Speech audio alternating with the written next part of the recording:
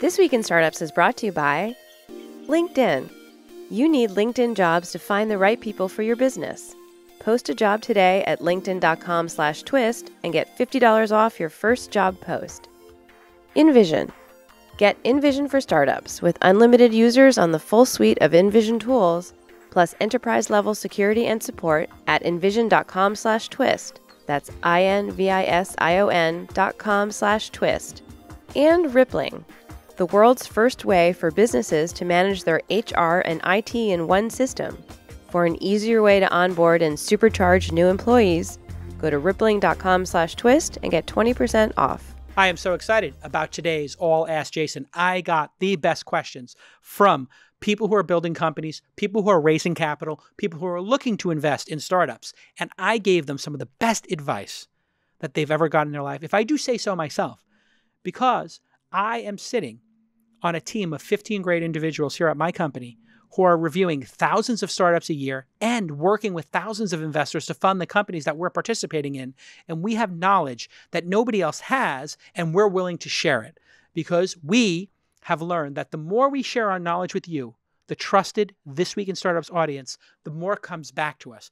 And the more that we want to come back to us are two things. One, you invest in or find a great company, you email jason at calacanis.com immediately and you get us on the cap table. The second thing I want you to do, if you're a high net worth individual and you've considered angel investing or you think it's cool, go ahead and read my book and join thesyndicate.com so that you can read my deal memos when I'm investing in a company. And perhaps, if you're interested and you're an accredited investor, put in as little as $2,000 and start learning the art and magic of angel investing and do it carefully and cautiously with the knowledge that we've learned and we've shared. You're going to love this episode. It is a tour de force of advice from your boy, J Cal. Stick with us. Okay, we have Julian on the line. He's got a question for me on Ask Jason. Julian, how are you? I'm doing great. Yeah, blessed to be alive. I'm glad to be alive too. We are we are yeah, both I'm calling from Sacramento. Sacktown, very nice. Uh, love passing through Sacramento on my way to Tahoe. Got stuck twice on that 80, and one of my favorite Twitter handles is the live 80 Donner Pass traffic cams, where I get to see exactly how many days I will be stuck in Tahoe. Oh yeah, Tahoe's beautiful. I just want to give a quick shout out to the um, startup tax scene here. Um, Yeah. They hosted an event. Sunny uh, was there yesterday. Oh, great. Um, he was on the accelerator program with uh, Requested. So Yeah. so No, it's a- inspirational. I think it's a great scene out there, and uh, one of my theses is if people um, want to run a startup in Sacramento, they can get to San Francisco in about an hour and 15 minutes, which is kind of the same as being in LA, except you don't have to do a flight. You can drive in and drive out same day, just like some people fly in and fly out same day. But flying in, flying out takes three hours each way. Driving in and out takes an hour 15 each way. So it's roughly half the amount of uh, arduousness. And I think a, a one bedroom in Sacramento around that area is probably a thousand dollars, right? Oh yeah, well I'm paying 450. So So for people complaining my about friends rent and problems, just move your startup to Sacramento and drive in here when you need money or you need to go to an event. Okay, what's your question for me, Julian from Sacramento? Oh yeah. So I was listening to, or I listened to Joe Rogan's podcast and with Jack Dorsey, they were talking about uh, transparency measures that um, social media players and ad tech companies have to take. And uh, I was really wondering what measures do you think they need to take? I know in Stratechery, I was reading um, Ben Thompson's um, piece uh, on the European Union versus the internet. And when he was talking about um, measures, he was thinking about establishing clear measures such as types of data retained, types of data inferred, mechanisms to delete user generated data, mechanisms to delete uh, inferred data, et cetera. So Yeah. do you think um, ad companies need to take those measures going forward? And what, what do you think are the implications in the startup scene if they do take those measures? Okay, so it's kind of two questions. Let's go with the social one first. So, if you think about Yeah. social media, it's incredibly powerful, and a large number of people have gathered there, and it's a very um, connected experience. So, if you look at Blogger or WordPress or Squarespace or Tumblr, when blogs came out in the 2000 to 2005 era, they weren't interconnected. You could post a comment or you could track and link back to other blogs, but it wasn't in a singular feed uh, until Twitter and Facebook kind of got into that. And maybe Tumblr was kind of a hybrid between the two now that I think about it. And in a social media environment, things can get amplified and people can put their comments right under each other. And it's sort of like going to a giant arena. Whereas blogs are like coming over to somebody's house or somebody's restaurant. When you're doing a blog post at calacanis.com, when I do one, if you come there and you act like a jerk off in the comments, I can just delete you and ban you. And you're subservient to me. You're underneath my blog post and you're in comments. Now, you look at Twitter, if you want to troll somebody and you want to troll me at Jason and you want to write horrible things or put terrible images under my tweet, you're the same on the same level as me. And things can get amplified. So on blogs, things would sometimes on the margins go viral, but not to the level of instant uh, velocity that you see on something like Twitter. Something can trend on Twitter in seconds to minutes. So if there's an earthquake, it'll be on trending topics within a minute or 2 mm-hmm. If there is a terrorist attack or somebody wins a basketball game, it's on the top of trending topics. So it's different in terms of the reach and velocity and the interconnectivity. Think of blogs like a restaurant or mm-hmm. your home dinner party. Think of social media like a giant arena or a million people at the Indy 500 or in, in Times Square. It's a different type of experience. So that means how people behave at your house party is different than how people behave in an arena. If you're in an arena and you start yelling at the players and run on the court, you get tackled and arrested if you're in a dinner party and you act inappropriately, people tell you tone it down, or maybe they don't invite you to the next one. So anyway, people have a hard time differentiating these two things. And additionally, we have freedom of speech laws, mm-hmm. and so people are allowed to be jerks. Yeah. Um, but you add that trending topic and the global nature and the scale of these things, it's uncharted mm-hmm. territory. So the analogy that I just gave, it breaks because you know you, are there's no stadium that holds a hundred million people or a billion people yeah. like social media does. And so we have to come up with a new set of rules. It's with blogs, you could say, listen, there's freedom of speech. Anybody can post whatever they want on blogs. If they break the law, let us know. On Twitter, you don't have the same ability because somebody who does something that breaks the law or they post a deep fake or you know something racist or something untrue it immediately goes to the top of trending topics or it immediately trends on facebook and so i think we need to mm-hmm. start thinking about them not as common carriers, in other words, not as a platform, but we can't think of them as publishers like the New York Times either, where there's an editorial process because there's too much content. And so it's uncharted territory. Yeah. And I think that the tools are there.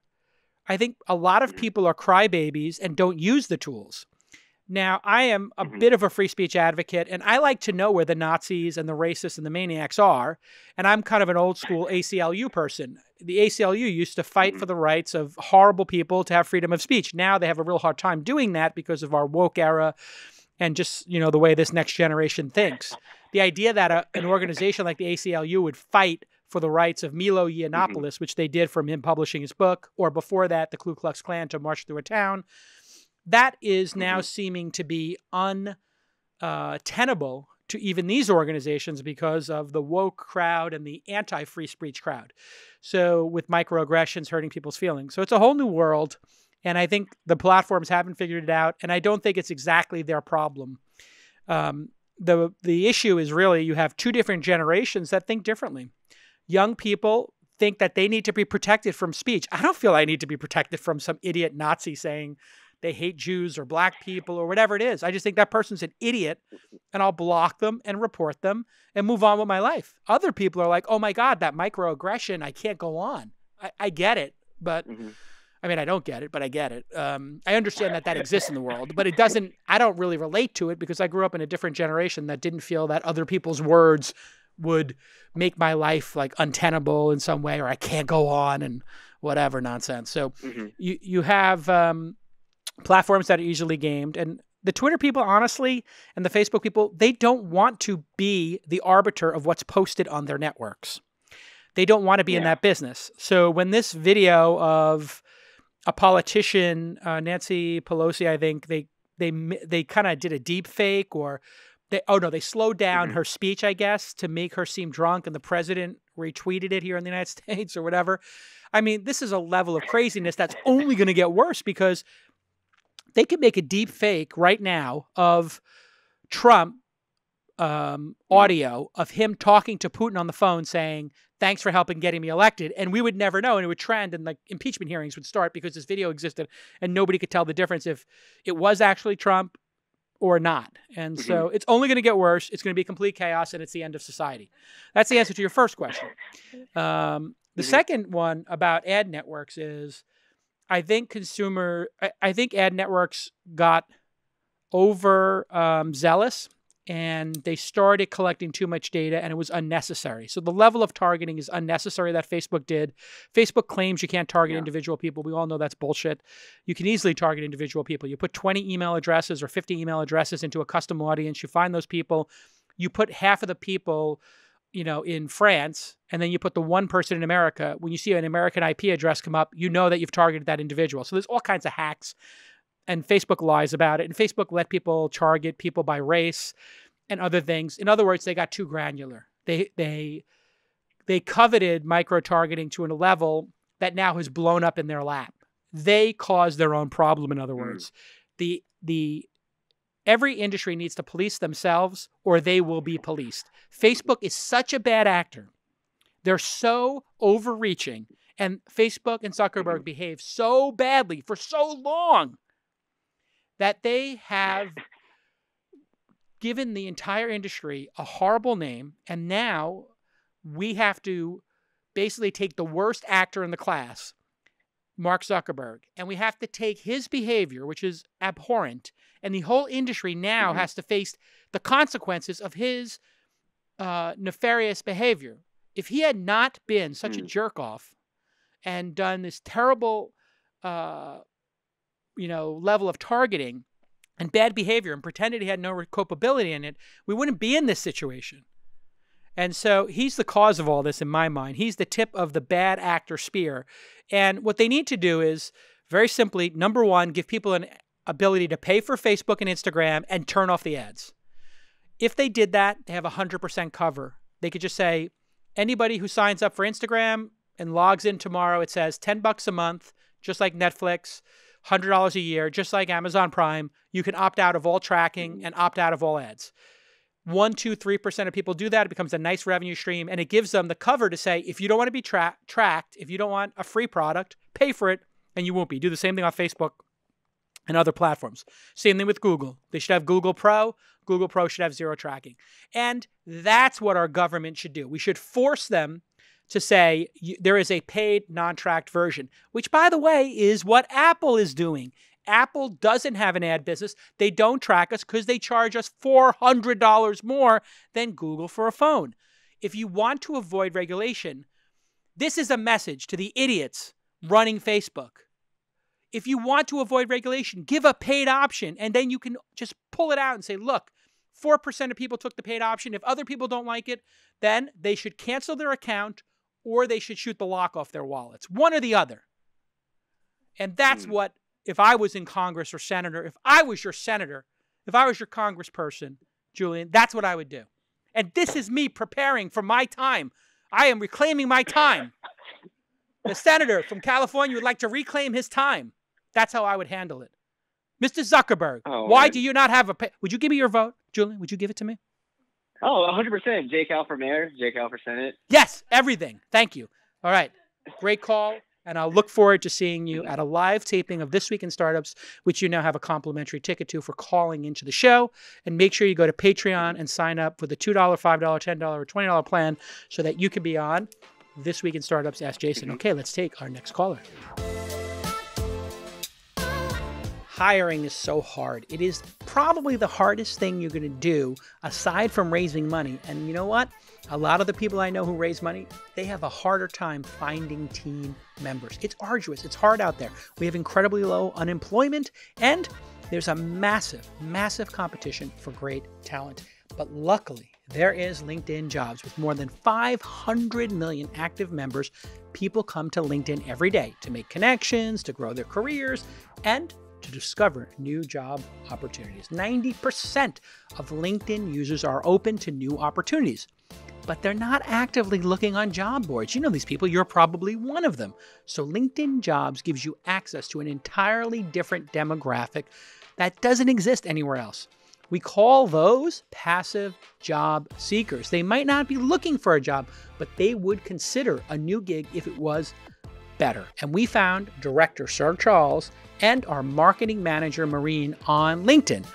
You need LinkedIn jobs to find the right people for your business, and you will get targeted job promotion, recommended matches, and candidate management through a dashboard that tracks everyone from application all the way to hire, all in one place. So you're not going to lose valuable candidates. LinkedIn Jobs uses knowledge of both hard skills like cloud computing, social media marketing, video production, whatever it is, and soft skills like collaboration and time management. And they do that to match people who fit your role best and your company. So here is your call to action. Post a job today on linkedin.com slash twist and get $50. That's a 50 from Jason on your first job post. That's linkedin.com slash twist to get that 50, that 50 from JCal. Terms and conditions, of course, apply. Let's get back to this amazing episode. Okay, I got Daryl on the line. Where are you from, Daryl? Hey, I'm from New Jersey. New Jersey, wow. Next door to my hometown of New York. What city? What town? What province of New So Jersey I'm are from- you in? so I'm from Trenton, uh, but I currently live in Plainsboro, which is near Princeton. Okay, very nice. I was out in Princeton for a talk. Uh, tell me, what's your question for me? Yeah. So I'm the co-founder of a startup called Prom Social. We're a social networking app for teens to plan, organize, and share their prom experience. Uh, pretty much, if you're familiar with any like wedding planning apps like Zola, WeddingWire, and The Knot, you could think of us as them, but for high schoolers and prom. Okay. Uh, so we're we're currently self-funded, and um, we're at the point where we think it might be best to raise our first round of funding Okay. um, in order so we can grow faster. And uh, we're currently structured as an LLC. Um, and listen to the show a lot. Um, I know that you think that it's preferred to be a Delaware uh, C corp, um, and that's preferred for investors. Um, at what stage do you think that it's important for us to make this change? Yeah, you have to have that change done before you even go talk to investors. It will be a tell that you're not like in the know in terms of startups. So an LLC will create dividends and taxes and K1s, and it complicates what an investor does. We just want to get shares in a company or do a convertible note, which converts into shares at some point in time. Delaware has a bunch of um, shareholder rights, and it's sort of a very clean place to do business. That's why it became the standard. You can look up the sort of history of that if you like. But LLCs are great if you've got an investment fund or you've got a small business or you're doing like a consulting business because you pay one time tax straight through. And um, you know, a, a C corporations, which is how you do shares, they have to pay tax twice. So you you pay taxes as a company, then the people you give a dividend to pay taxes. So that's inefficient. So if you were running a lifestyle business that threw off cash, you go LLC. If you can have shareholders, you need to have professionalism and have a C corp. There's a something called an S corp in between those two, uh, but people don't do that either. Uh, people get a little bit caught up in this. If you're going to go investor route, you just do C corp. It's that simple. Um, and are you a first time founder, second time founder? Have you had a successful exit before? First time founder. Great. So that's why you did an LLC. Do you have a professional Silicon Valley type um, attorney, or do you have like your cousin as an attorney? Uh, we have an attorney, uh, but we're going to look into how much it's going to cost for us to transfer over to a C corp. yeah, but Um, is your is your attorney like somebody who does wills and divorces and like a whole range of stuff, or do they specialize in their firm on startups, technology companies, venture capital, et cetera?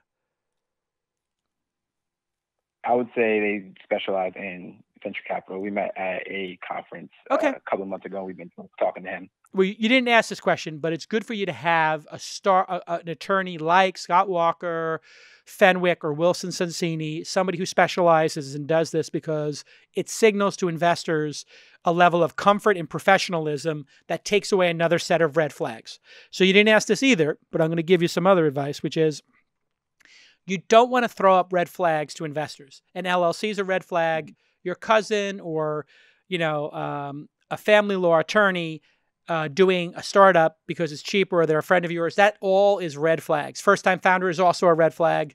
Um, and no business model is another red flag. A derivative business, another red flag. Tell me, um, if are you a uh, what is the revenue model of Prom Social?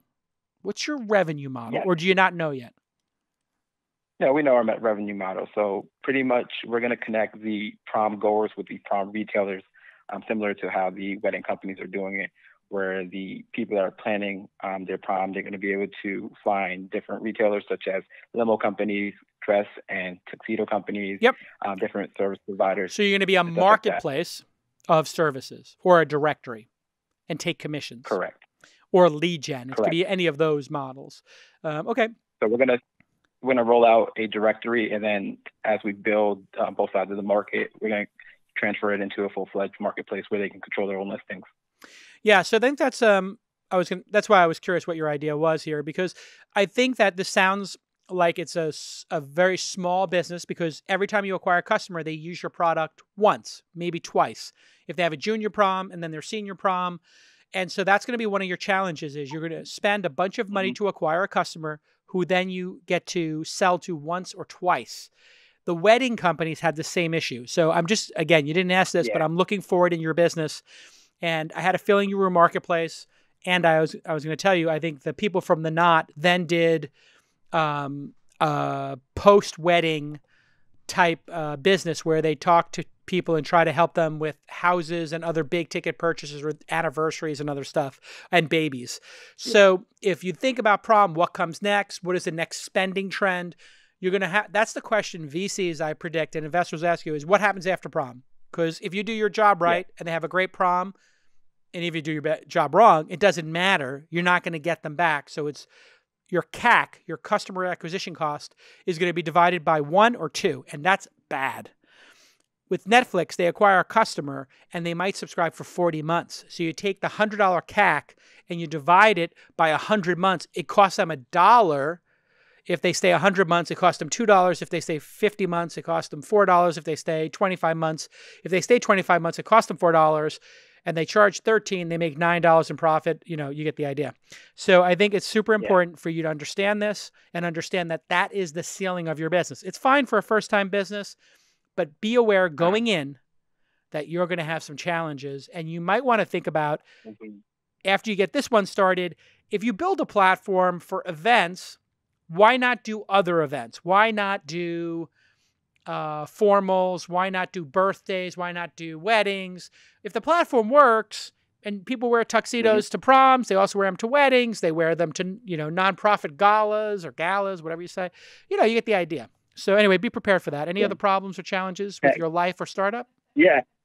I have one more question in regards to that. So, um, what do you think about us having pretty much two kind of models? So, it's a social platform, and it's also going to be the marketplace that's going to be added in the near future.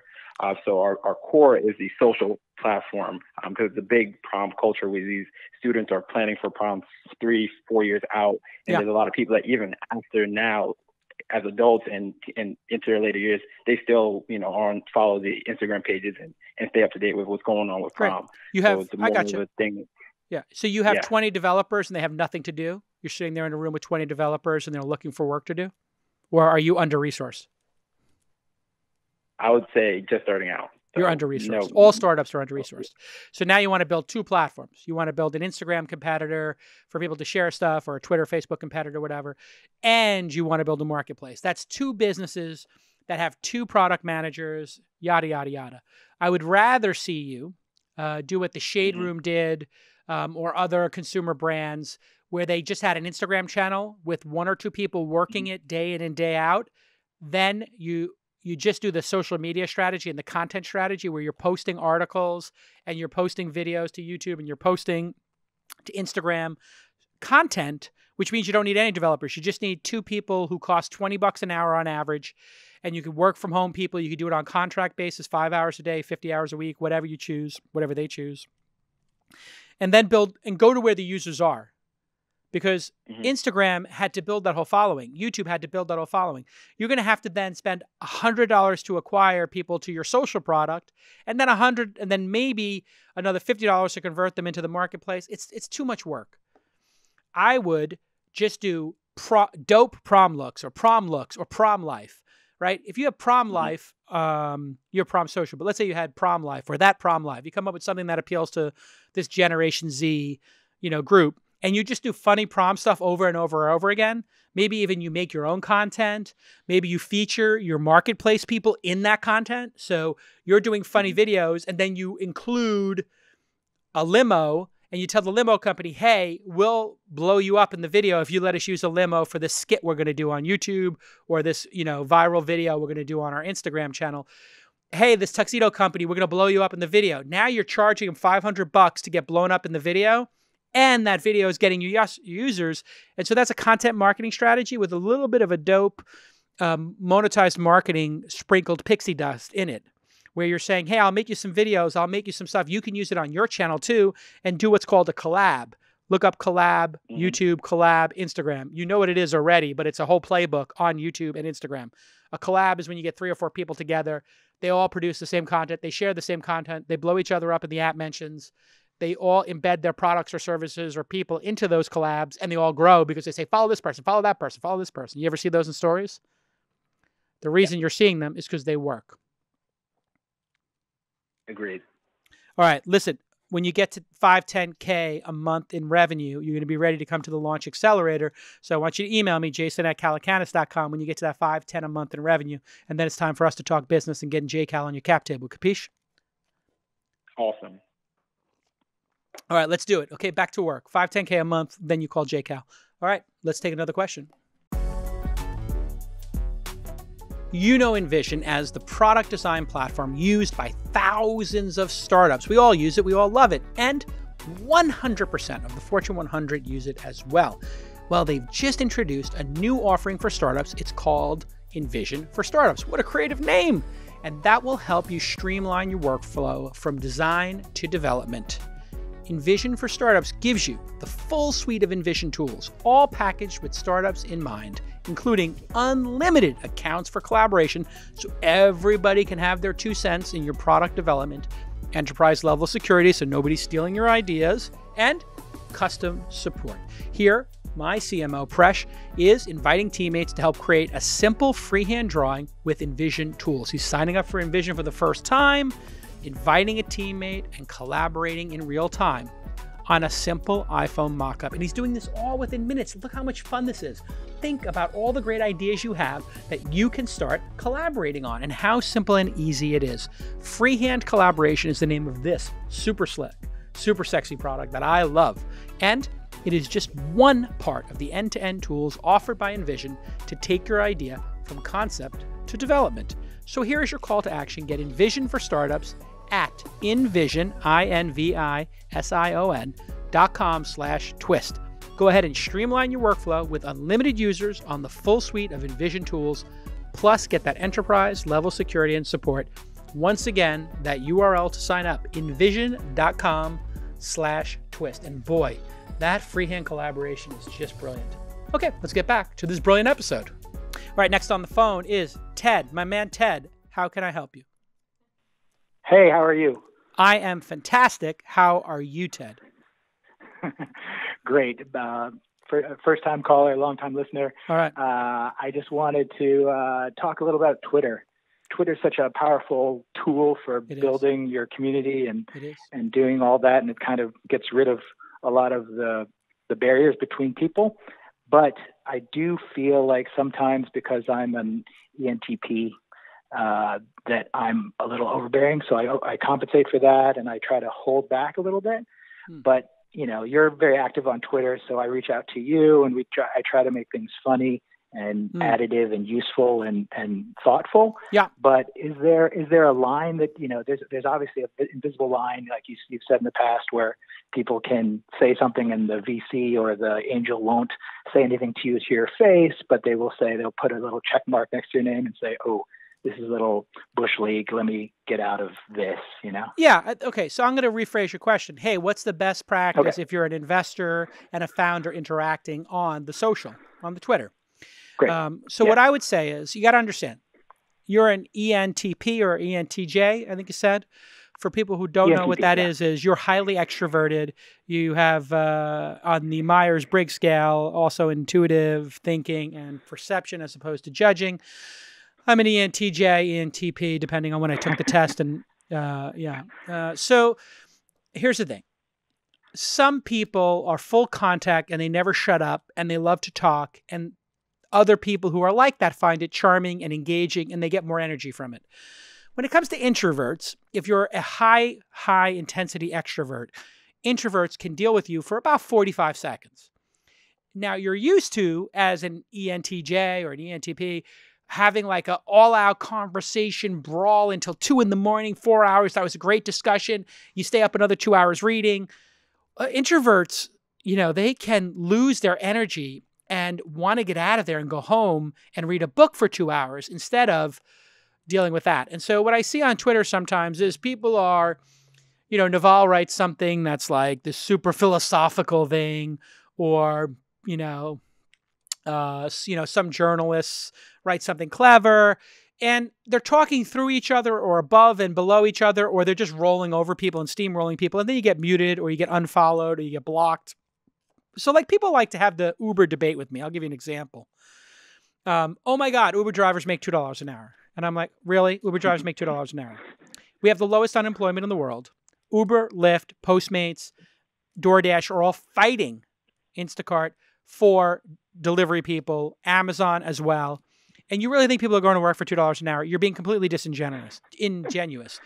And I try to explain to them, and they're like, no, you're wrong. Or they're just like, Jason's a billionaire and he hates and he wants everybody to be poor. And I'm like, okay, well, now we're not even having an intelligent conversation. You're ad hominem attacking me you, you're not you're misrepresenting stuff. So when people are intellectually dishonest and they add ad hominem, which just means calling people names, you, are going to lose people. Now you may see me strategically do that. I started a fight with this uh, kid Anand or whatever, who is a socialist, former reformed.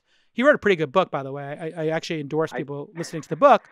I saw that. Yeah, yeah, and I'm like, listen, but I'm picking a very strategic fight here. I'm not doing that with somebody who's a future founder and LP. I'm doing that with a socialist who's you know, wrote this book, Winner Take All, and like is like entrepreneurship is terrible and entre- no more billionaires. And he's kind of like the AOC Socialist Party, Bernie Party, which I think is a bunch of lunatics who will keep Trump in office and enable the right wing nutcases. And I'm trying to mix it up with them because I want to stop the socialist movement and I want to keep young people believing in capitalism because capitalism is responsible for almost all the great stuff that we're experiencing right now. And governments don't solve problems, they cause more problems they start. So, anyway, that's a strategic fight with me where I'm picking the person to mix it up with who I know is a socialist. I'm not trying to convert them. I want to mix it up and have that debate. I want to have this kid Anand uh, on the podcast because it's an important debate. But I'm not going to, you know, uh, ad hominem too much. You might see me playfully be like, the kid's got great hair, but terrible ideas. So, I like to be yeah. funny. If you're funny, that forgives. Um, but don't be a jerk be careful with the ad hominem. You know, like if you see me call a Nazi a jerk or pathetic, or I call incels pathetic or whatever, that's because they are pathetic. But I'm not going to do that with other people in the industry. I want to challenge people on an intellectual basis that's intellectually honest, that understands their position, and then reflects back my difference in an intelligent way. When people do that, when they challenge my opinion in an intelligent way, I love it. When they point out mm-hmm. my argument's weak for these reasons, I'm like, oh my God, finally, somebody's giving me feedback on how to refine my argument. So I feel that way about Nand, who thinks I'm obsessed with him, and maybe I am. But I think some of his points are good. And it, I think his book, you know, definitely has some merit. I just think he's got no solutions. So I like interacting with those people. Just like I like inter I have a couple friends who are Scientologists. I'm an atheist. I like understanding why they're so you know, obsessed with Scientology or other religions. I like that debate. So have an intellectually right. honest debate, easy on the ad hominem. And if you're going to pick a mm-hmm. fight with somebody on the other side of the aisle, have it in an intelligent way and have a position. And that's the problem is people want to be intellectually dishonest. I think that's the cardinal sin of Twitter. Is like not no. being funny or being stupid.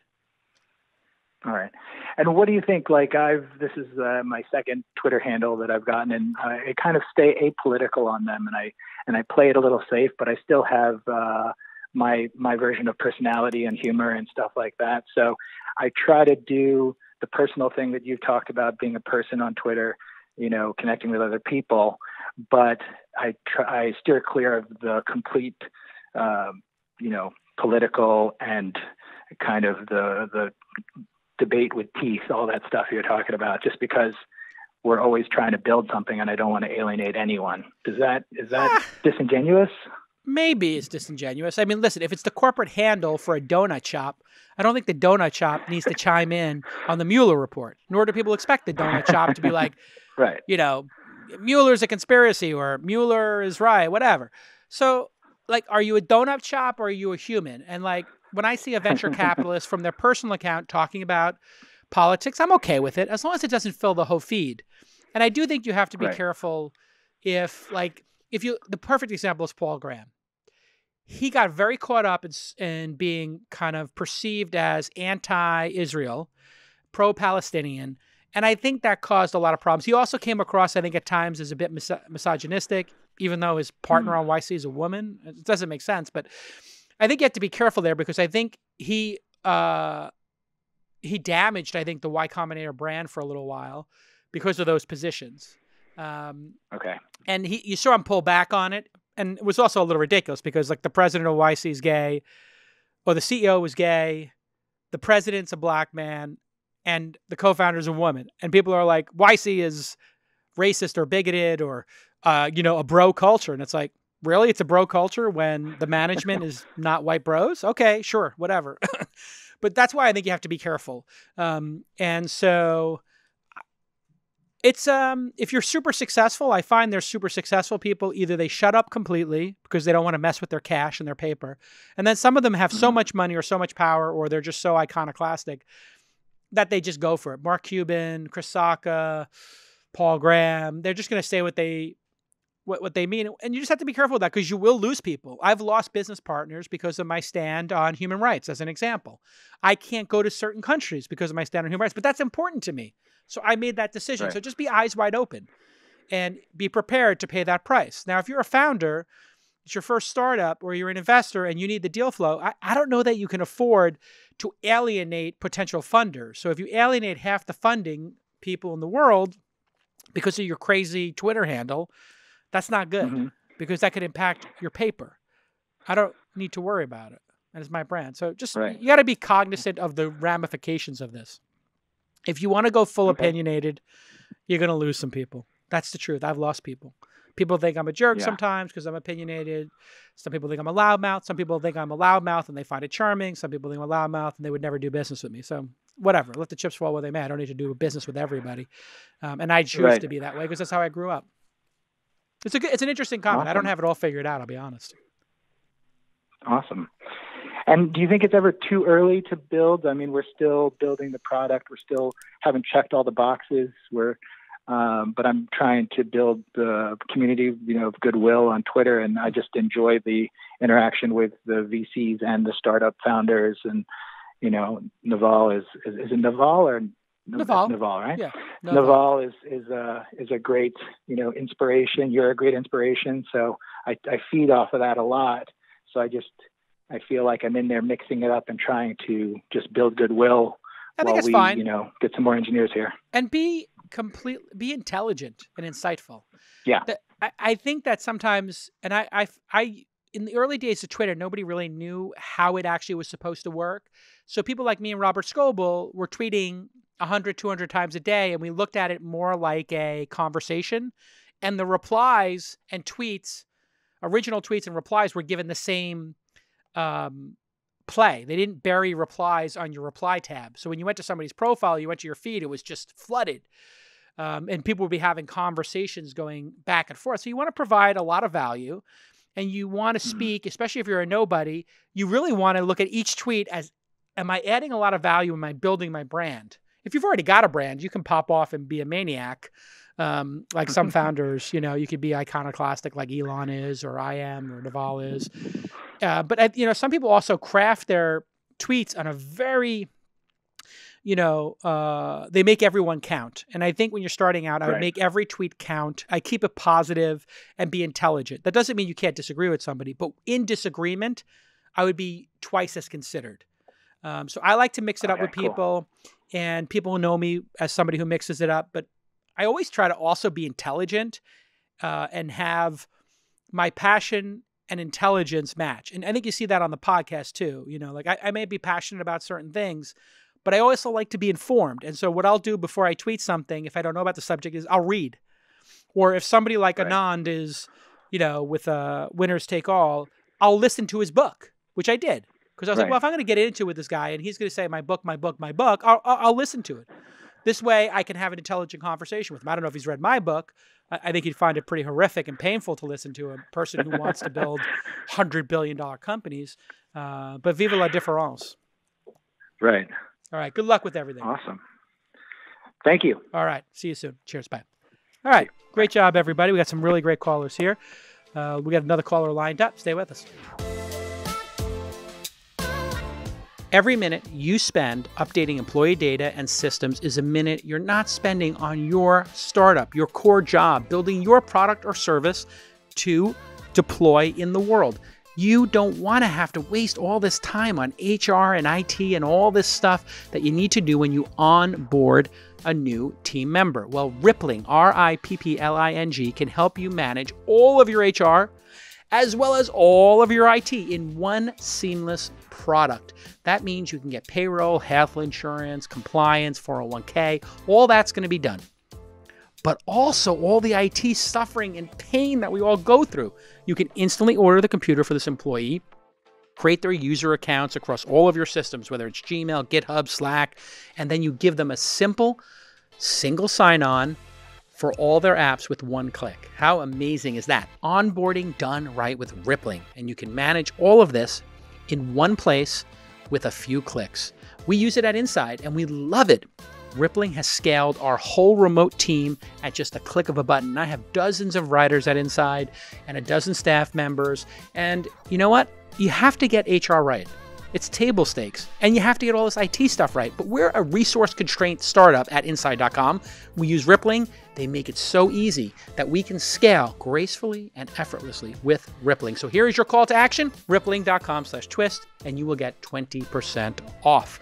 So if you're looking for that easy way, that easy way to onboard and supercharge new employees, I want you to go to rippling.com slash twist and get 20% off. Thanks so much for supporting independent media like This Week in Startups.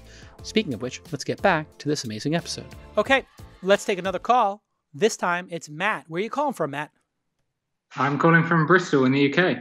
Very nice. Did you get to see Mark Knopfler on the latest tour? Uh, I, I didn't have the pleasure. No, no. All right. Did Well, I'm going to suggest that you have the pleasure and call me back with a report from Mark Knopfler's incredible on the road tour. Um, okay. Do you have a question for me? Uh, I do. So I'm a founder of a, a startup here. Um, we're, we're in the process of raising, um, and it's a little bit early for most VCs. And I know because I've, I've spoken to quite a lot, and most of them want to keep updated, but aren't ready at this point. Now, being in Bristol, kind of outside of the main tech hub of, of London. And so I guess my question is other than the bigger angel groups, what's the best way of finding the right angels for um, for the company that are that have a really deep knowledge of the market and can hmm. really add value. All right. This is a great question. And if I may, Matt, can I give you the silver bullet? Go for it. That'd be great. Can I give you the exact technique that will work to get you the meeting 100% of the time? Yes, please. Okay. Angel groups are almost universally complete nonsense and a waste of time. What they do is they bring a group of people together. Typically, they're barristers, aka lawyers, accountants, headhunters, PR people, people selling cloud services who are trying to sell into those founders, right? And so I get a lot of bad reports back about this Keiretsu Forum and other evil people, young startups, these evil programs that charge people to pitch. If you're getting charged to pitch to angel investors, it's by definition a scam. Do not do it, period. No professional angels are going to let a founder pay to pitch them. I wouldn't let a founder buy me a cup of coffee until they IPO their company. And if they did IPO their company, I would have made a ton of money. I'd probably be taking them out to a Michelin star restaurant. So again, angels should pay all the time, not founders. Let's put that aside for a second. And now let's get to the magic bullet. And I'm going to give you two magic bullets because it's not enough for me to give you one. The first one is what is the general genre of your startup? You don't have to tell me the, So all the specifics. What is it? It's a fintech platform. Perfect. Got it. That's all I need. Fintech platform. There are a group of people who are high net worth individuals who have worked in financial services. Correct? Yeah.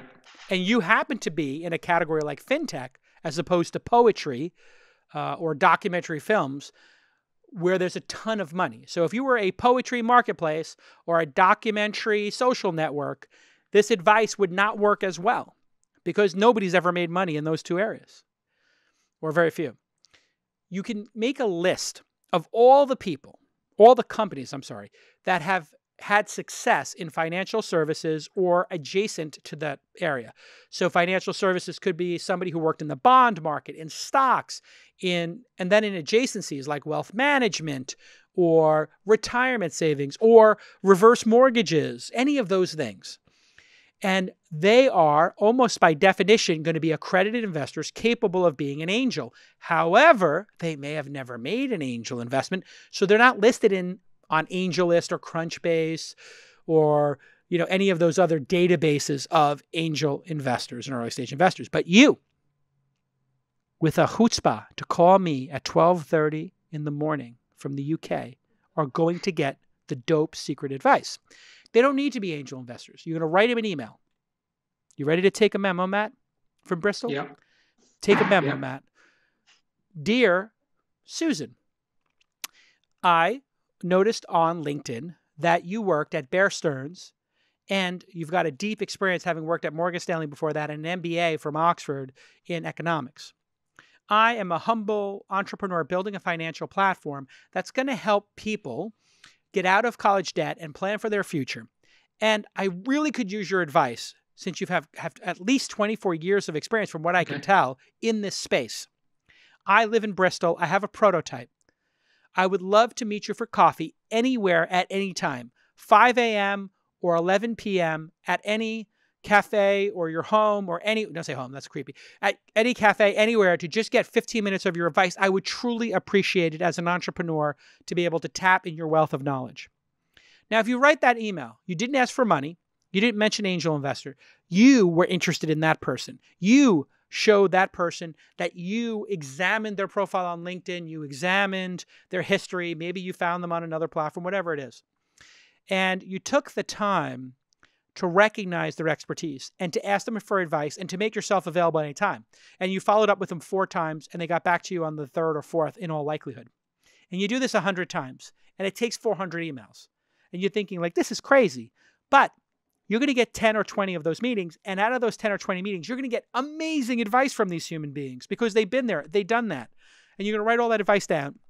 And then you're going to put them into your CRM system. It could be a Google Sheet or it could be a proper CRM. And you're going to give them updates on your progress. So even if you don't close them now, they may know somebody who they refer you to in the future, or they may become customers later, or they may respond to your update 18 months from now with a killer idea. You're playing the long game. So I've met a lot of rich and powerful people in my life. When I met Mark Cuban, I never asked him for money. I was a journalist. Five or six years after I met him, I said, I'm doing a blogging company. I think you should do a blog. And by the way, I'm raising money for my blog company, Weblogs Inc., with my partner Brian Alvey. Would you be interested in investing? And he did. That was year six of my relationship with him. So if you're truly an entrepreneur and you're truly playing the long game, networking, which Naval uh, on Twitter derided the other day because he's an introvert, networking is actually a super powerful use for people who have no network. If you have a network, networking is annoying because you have too many contacts. You can't even keep up with them. And you feel guilty about that. But you're a nobody, correct, Matt? Nobody knows you. Yep. And let's be honest about that. That's where I was in the early 90s. I was a nobody. Now look at me.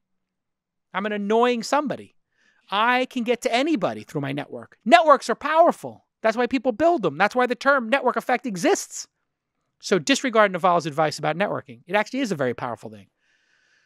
JCal says, do the networking, build the network, and leverage the network over time. Now, at some point, it might work against you because it's annoying. Too many people calling you, too many people emailing you, too many people calling into your podcast, asking you for a favor, yada, yada. So, anyway, that's your first way to get those people. Now, I'm going to give you the second.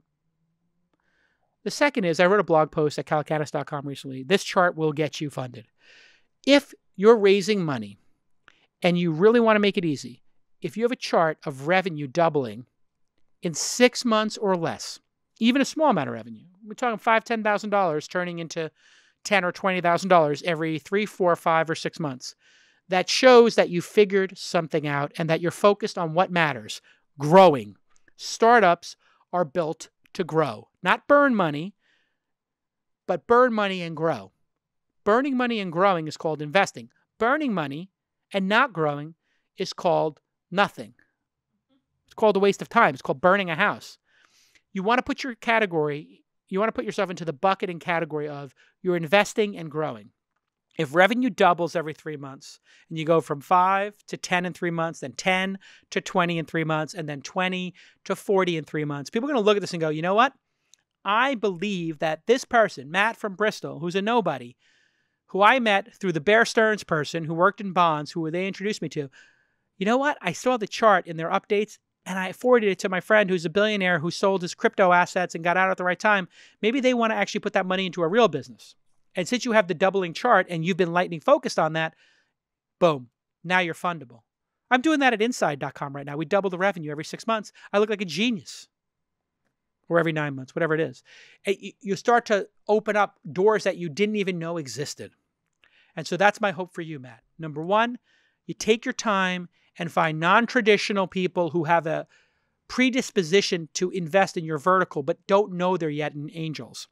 Because if they are in your vertical, be it poetry, be it documentary film or finance, movies, enterprise software, sales, you get the you get the drill here. Sysadmins, if they are in that category, you have the ability to ask them for advice. And if they give you good advice and you bond and you come across as somebody driven, you may unlock their affinity for you and the vertical and the product. And that's what you're looking for. The best early stage investors are the ones who have an affinity for the market, the product, and or the founder. The founder, they might have an affinity for because you're their nephew or your cousin or your sister or your brother, whatever.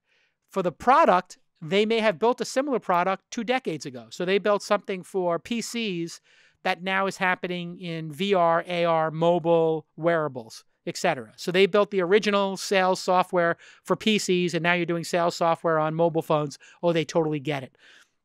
So that's a product based. And then there might be people who just market based. Yeah, I worked in bonds for 30 years and I always wondered why this product for bonds didn't exist. And wow, you're actually making it exist. I like it. Let me get involved. And you can also unlock their greed because you have a two or three million dollar valuation right now. So they can put in 25K for 1% and look like geniuses when you hit 25 million because now they made 10x or then they made 100x. You get the idea. So you want to play into that, make your own angels. Make your own early stage investors at this stage. And if you get a couple of them going, they might provide knowledge and money. And that's the double whammy. That's what you're looking for. Yeah, that, that, that sounds great. I think uh, we've got the beginnings of that chart as well. Um, awesome. Give, give another month. I would like to invite you to come to the Founder University, talk to Jackie at launch.co, and you can come as our guest. Uh, and uh, also, if you want to come by the accelerator, if you can get yourself to uh, 10, K in revenue, you can come audit our accelerator and you can just email me, jason at calacanis.com. Thanks for calling in, Ted, and staying up late for your first time call on This Week in Startups. Great. That's what you, I Jason. said. Matt. Thank you, Matt. Sorry. Okay, let's take another call. Okay, I've got David driving down the road. Uh, David, what's your question? Hi, Jason. Uh, I was wondering, what's the biggest mistake you can make when pitching to angels? What's the biggest mistake? Yes, sir. Oh my God, I got a long list. Uh, let me start going through them. Or what's the most common, or Yeah. something along those lines? Okay, gotcha. Most common mistakes. The most common mistake is reaching out to an investor before you're in their sweet spot for investing and not doing your research about that investor. So, if the investor is a late stage investor and they work at TPG Capital or BlackRock and they're used to putting a billion dollars or a hundred million dollars into a company, they don't want to meet you when you have an idea. There's a complete mismatch. And uh, another one would be going after somebody who only invests in Japan and you're in America. Another one would be going to somebody who only invests in a certain vertical enterprise like Jason Lemkin from SaaStr, and you're bringing him a consumer social network. These are terrible ideas. If you're not aligned with the investor, you look really bad wasting your time and theirs. And they're going to go, why would this person waste my time? But more importantly, why are they wasting their own? I don't invest in the zone. All investors are on social media, on their blogs, on their corporate websites, in interviews, explaining their sweet spot and how they invest and how much they invest. And so I have founders who contact me at this day and age, not knowing where I invest and what my zone is early stage, post product launch, pre Series A. I'm very clear. In fact, we gave it a name here our Goldilocks zone. And we have spent considerable effort on the podcast, on our websites, in our emails, on our on our blog posts in drilling into people's head, co-investors, founders, etc. We are not interested in ideas or MVPs. And that is too cold. And we are not interested in a competitive Series B where you have five term sheets. That is too hot.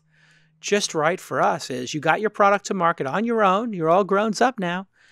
And you got a little bit of traction. You got five customers, 10 customers. You're doing one, two, three, four, five, six, seven, eight, nine, 10K a month in revenue. And it's growing. Doesn't have to be perfect. And we can then have you come to the accelerator. And if you've got 50K a month in revenue and it doubles every three to six months, hey, maybe we'll consider you for the syndicate. And that is the sweet spot for us. Do your research on investors. Second, having a derivative product where you are saying Pinterest is terrible. If only Pinterest allowed you to use VR glasses when pinning objects, it would be a success when you build a product that's copycat or derivative, you look like you're uninvestable because none of us are interested in the founders who don't have original, unique, passionate takes on the world.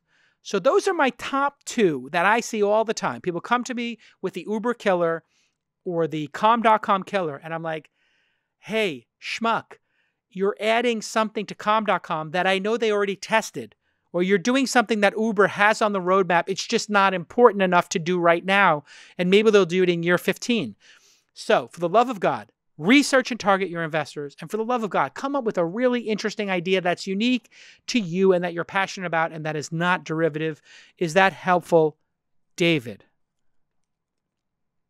Certainly. So, on the topic of derivatives, what if the um, the startup that you're pitching is somewhat of a derivative of multiple companies um, and taking the good of the of the individual companies and um, kind of excluding what the companies don't do right.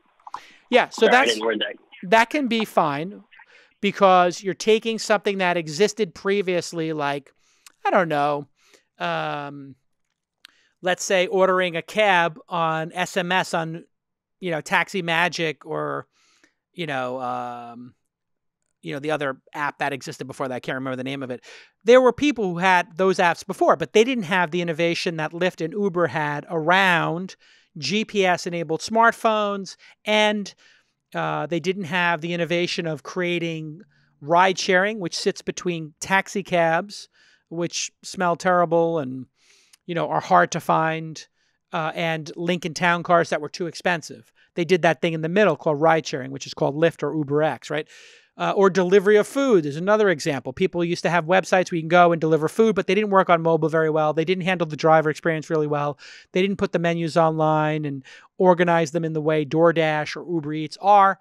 And those services really super evolved them. So if you're going to do a business that's been done before, you better evolve it and have a why now something significant that you've improved. The why now for Uber was smartphones with GPS.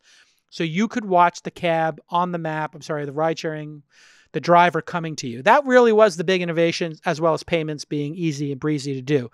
You put those two things together, that's the why now for Uber.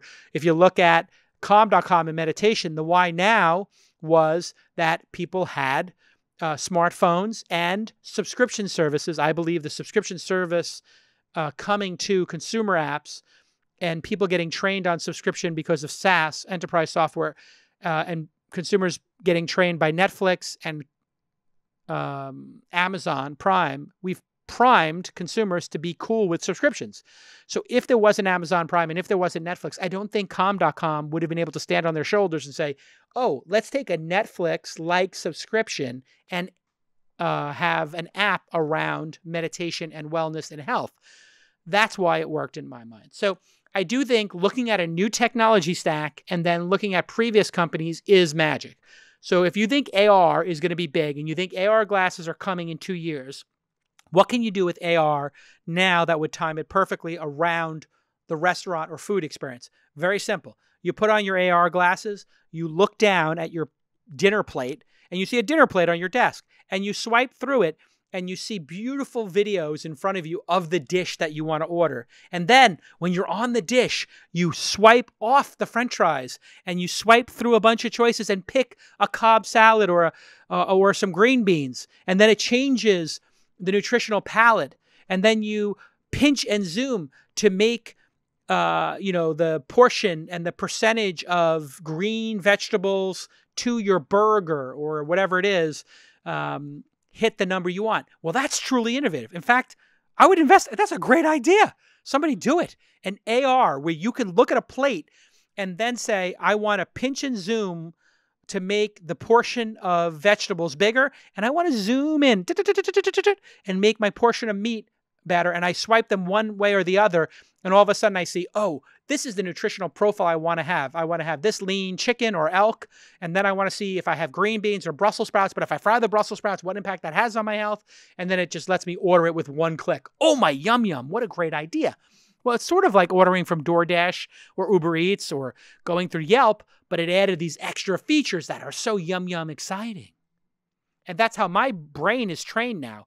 When I see somebody do something like, oh, you can order and it's better than DoorDash and Uber Eats because uh, we do free delivery or we don't require tipping or uh, we get it to you five minutes faster. I was like, well, I don't know if that's going to be a big differentiator. Now, the AR glasses might be a huge differentiator, and the portion sizing might be an extraordinary innovation for people who are health conscious and giving them that kind of pick. So I think that's what you got to think about, David, is how much different is it? YouTube's the classic example. Putting your videos online used to cost money. YouTube made it free. Putting syndicating your videos online required uh, syndication tools that didn't exist back then. And they had the first syndication tools where you could take a little clip of Lazy Sunday and put it on your blog. So there were two really big innovations there for YouTube one, making it free, two, making it easy uh, syndicatable. So great job, David. Great questions. I hope that helped. Let's take another call on this All Ask Jason special. Hi, Jason. This is Kirstan Barnett from Bruins territory, Boston. Oh, Boston. How are you? Good. Good. Okay, Kristen, what's your question? Um, first of all, I love the advice that you gave to Matt about uh, you know the email um, to to sort of find angel make make angel investors out of you know people who are already in um, your space successfully. That was great advice. I agree. It was um, brilliant. Um, so, I just made it up on the fly. I know, no, it, no, it's, it's it's great because you show that you've researched you know, the person, you've shown an interest in their background, and you're not asking for money. So you're not crystallizing a no from the very beginning. Um, because somebody who's never invested before is probably not going to do it with someone they just don't know. So it's like, it's, it's great, it was great advice. I loved it. Um, so my question is I'm an active angel investor. And, you know, the area of investing that I think is can get trickiest is the sort of subjective qualities that you're looking to make a determination on with respect to the founder or the founding team. So you're looking to figure out, you know, do they have resilience? Are they street smart? Can they pivot? So I'm not talking about sort of pure intelligence and computer science and things that you can actually get a handle on yeah. in a pretty quick way. I'm talking about yeah. the more difficult qualities and characteristics and integrity. So I'd love to hear from you hmm. what you do to get to those things. It's a great question. So uh, we talk a lot about intangibles, right? And intangibles to me are things like resilience, grit, creativity, ability to lead. And sometimes there's not like a piece of paper where people can take out a certificate and say, I'm resilient, or they can say, I'm a great leader. So what you have to do is look at your interactions with them over time and determine if they show those characteristics in the interactions with you and in the product and in the company. So going and visiting the company and talking to the other employees would tell you a lot about the ability of that person to lead, wouldn't it? As would sure. um, maybe if you don't have a sense that this is a great business and you don't have enough information, wait. I have a lot of founders who are a lot of investors who I who I I mentor and I talk to, and they're like, I can't figure out if this person is going to get this done. And I say, okay, that is a signal for you to say to the founder, I'm not ready to commit right now. I would like to see over the next three to six months how you uh, add team members and how many of these clients renew or expand their spend with you, and uh, how you do with fundraising with other investors. And then I might be able to invest six months from now. Would it be okay for me to get your monthly update to people who passed on investing so that we can stay in touch? And what I try to explain to angel investors, especially people who are new to the game, is that there are usually three, four, five times to get on the train. The early way to think about early stage investing is it's a local train. And angels can get on board at any of the five or 10 stops that that company and that founder is going to make from the friends and family round to the angel round to the seed round to the seed extension to the pre series A and even the series A. They typically do five to 10 investment rounds. Now, when they get their Series A and a venture capital ta- capitalist takes 10, 25% of the round and they say, everybody's got to pass on their pro rata or I'm not doing it, or I need to hit this percentage. Anybody else you add to the round after that doesn't come out of my percentage, it comes out of yours. That's when the sharp elbow behavior starts, Series A or past that. But in my experience, here in the Silicon Valley, it's five, six, or seven rounds of funding that occur. So if you see they've done two rounds of funding, there's probably three left that you can participate in. So wait and see if they what they said they were going to do is what they did. Right? And then you know if the person is full of ish or if they have credibility. And that's what I'm looking for. I'm looking for somebody with resiliency. So I'll say, you know what, you're not ready for the accelerator, but I'd love for you to stop by the accelerator and audit a class. When I see that person comes across the country to, to, to a Thursday and they come on a Thursday, which is when we have the accelerator and when we're always going to have it, it's always going to be Thursdays because I like, if I have to travel, I take Friday off. If they come to the accelerator on Thursdays, they're showing me something. They haven't given up on getting me Jason Calacanis, the world's greatest angel investor, as an investor, even though I passed. And then I tell them apply. And then I tell them talk to Jason DeMont spend some time with him. Those are all tests. And you wouldn't believe it. People fail the test. I invite them to come hang out on a Thursday and get a burger with me and the team afterwards. And you know what they do? They say, oh, I, you know, I don't have the time or it's too far or I'm a little bit busy. And coming all the way to the accelerator from San Jose is hard. And I'm like, oh, okay, I totally get it taking an hour train ride or a 45 minute ride on your car from San Jose to San Francisco is too difficult, I get it. I am not the right investor for you because I'm a grinder. And if somebody told me that I could in my early in my early years, I could have got their money to invest in one of my companies and all I had to do was go to Tokyo, you could be sure I would have found the cheapest flight to Tokyo and been there because I was trying to make something happen in my life. And these snowflakes who can't be bothered to show up and put in uh. the time. Thank you so much for telling me what I need to know. Oh, you can only start your business after I give you 250K? Sounds good to me. You are a precious, unique snowflake, and there is no other snowflake in the world like you. But there are a billion other snowflakes in this snowstorm, and there's going to be a million other snowstorms to come. So enjoy your precious life before you melt on the ground and be are forgotten forever. Jesus, people, let's do some work here. Are there any other um, are there any other sort of tests that you that you do, uh, or any specific questions that you that you ask? Sure. Any other? Yeah. Thanks. Look at the product, and then when you look at the product, pick a feature you think's interesting, and then ask them, um, this is interesting. Calm looks very interesting. Why are you doing one uh, single meditation a day as opposed to having a library of thousands of them with hundreds of teachers? And then that's it. Ask a question about the product. Why don't you allow tipping in Uber? Lyft does. And then listen to the response. Why is there surge pricing on Uber? I don't get it. I've never seen surge pricing in a taxi before. When I asked that to Travis, that answer was so sharp and so inspiring that I couldn't help but invest in that company. When I asked that exact question to Alex at Calm, those are actual questions I asked, and those are my two biggest investments to date, of returns to date, uh, uh, on paper and in some cases in terms of selling a little bit, yum yumskis.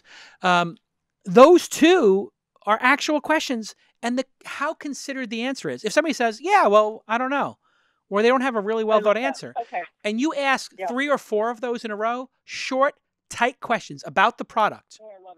Yep. you are going to just, when you listen to that answer, you will know a neon sign above their head will say loser, loser, or winner, winner, or somewhere in betweener. And you'll know because you want to invest in the winners who, when they make a great product, they know why they're doing what they're doing. They have a thesis, they have a test, they have an opinion. When I talk to Henry from Cafe X and I say, hey, why did you do iced beverages before? He said, iced beverages, that's everything. People drink iced beverages in the winter. There's a group of people who love iced beverages. I know this, I did the research, and here's how we're going to make it happen.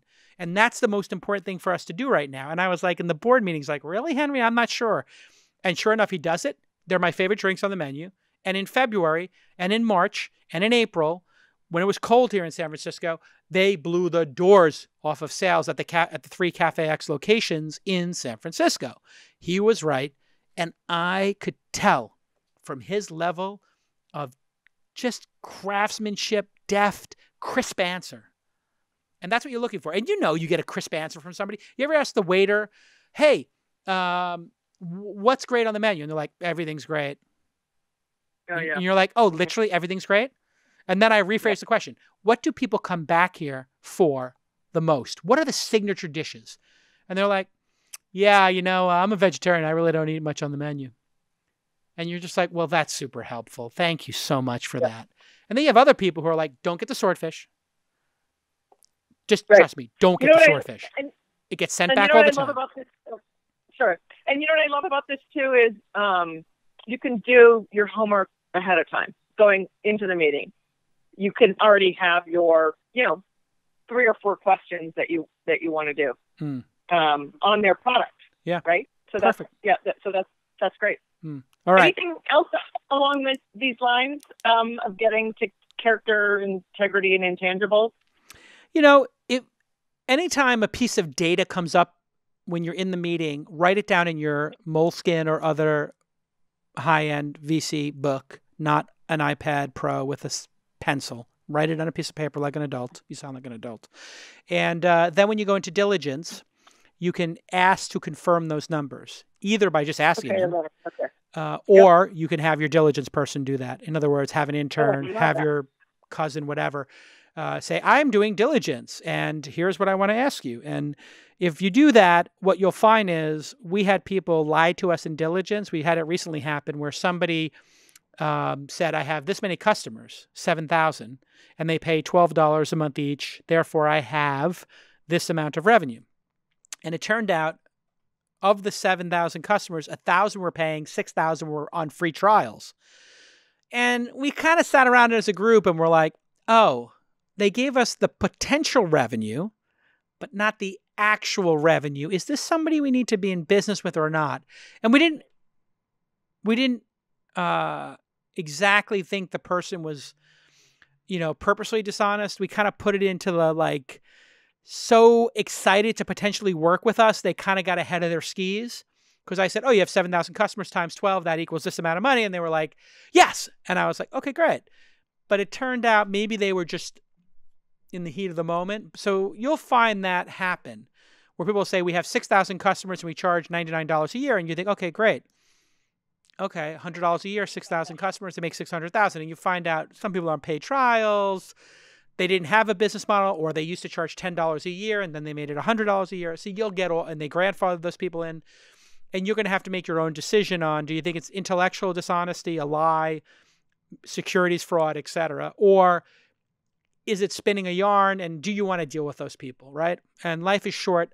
I, there's so many people who are upstanding and have high integrity that I like to go with that group of people. Now, if somebody bends the rules like Airbnb or Lyft and Uber did and they reinterpret the rules and it's on the side of the com- consumer and they're fighting the good fight, that's different. And I've talked about that a lot in this program because people like to challenge me on the Uber investment. And I said, listen, with ride sharing, I think that the rules were unclear and they were written 100 years ago about taxis and every jurisdiction is different and they're going to fight it out in every jurisdiction to give more choice to customers and i think that's virtuous what you don't want is people cheating like that uBiome company did or other companies did okay or theranos or Yeah, pick right. the company that just was be- an outright fraud with the situation that you outlined with um, the you know part of the customers were non-paying, I think I would be in.